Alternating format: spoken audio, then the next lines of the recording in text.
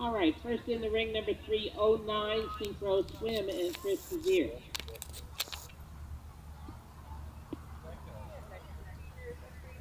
The lunch booth is open for lunch.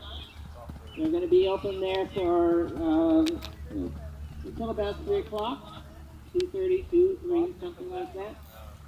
Understand they have salads, they have tuna um, sandwiches, they have cheeseburgers, they have some sort of pasta. They have a variety there. So go on over and uh, fill your tongue.